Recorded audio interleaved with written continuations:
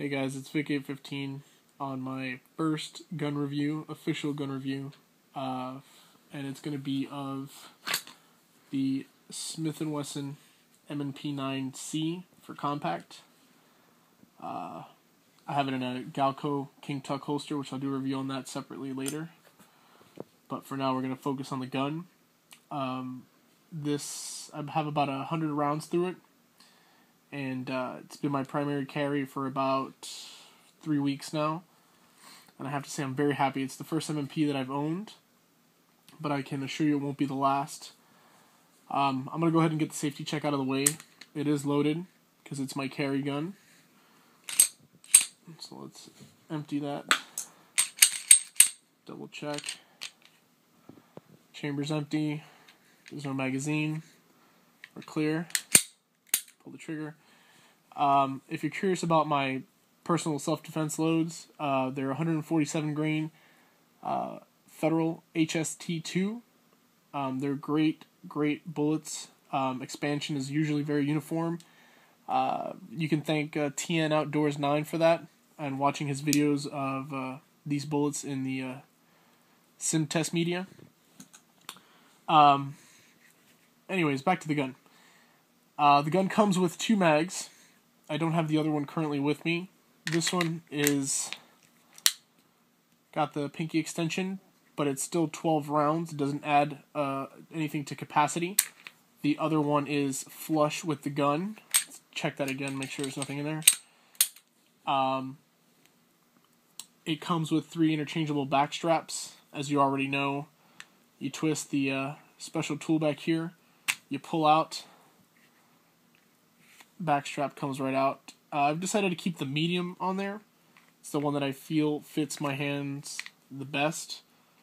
Uh, you know, my girlfriend probably prefers the small, but the medium is a lot better for me to shoot. I have slightly bigger hands.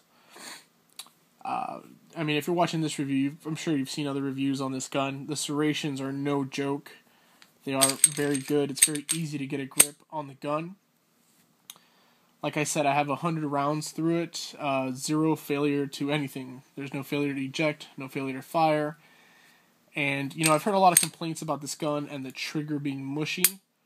I actually think that it is pretty good. I mean, I'm not an expert in any way, shape, or form, but even the reset doesn't bother me. It's not very audible but it feels good.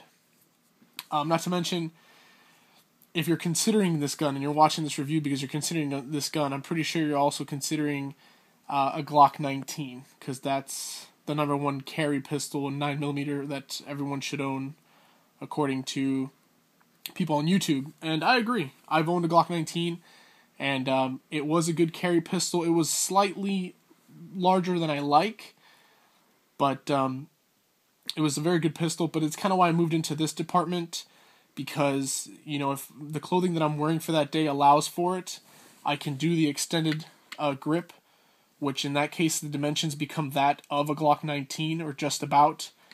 But, you know, if you got more of a form fitting shirt on, you can go with the flush uh, base plate mag and, you know, it'll it'll it'll conceal a little bit more. It'll be like you know you can't even get your pinky on it. It'll be like a baby Glock, like a Glock 26 chambered in nine millimeter, uh, and you know that's what you want. You want that option for conceal concealability.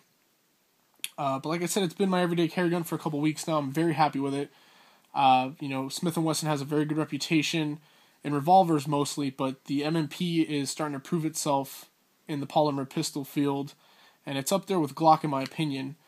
Um, another reason I got it was I heard the ergonomics were a lot better on this gun, and I have to agree. The ergonomics are uh, much, much sweeter than the Glock. The Glock is, it feels good in the hand, especially at Gen 4 with the textured frame, but this just feels a lot better. Even without the pinky extension, it just feels really good in my hand.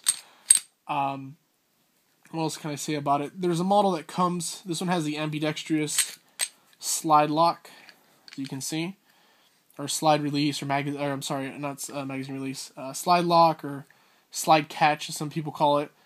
Um, it's ambidextrous, but it does not have any external safeties. I personally don't like guns with external safeties for concealed carry. uh, just a personal preference. Not to mention, I've seen the model that comes with the uh, external safeties, and it adds like about a half an inch on each side. Maybe I'm exaggerating, but they're big. I've seen them, and they're separated, and they're like two big wings on the back of your gun. And obviously, if you're going to conceal with it, width is a plays an important factor.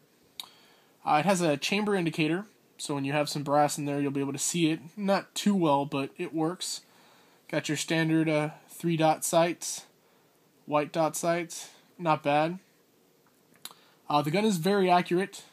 I'm not gonna lie, I'm not the best shooter, but it uh, it really holds its own against, like I said, Glock and even uh, XDs. Which I will. This is like I said, this is my first review, my first gun review, but I plan on doing a lot more reviews on gun and gear. Uh, and maybe an update on this gun once I've had it for a little bit longer and put some more rounds down range with it.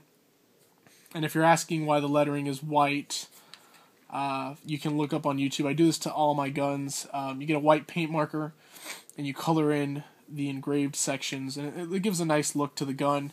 I do it to my mags as well. You can see there the 12 round mag.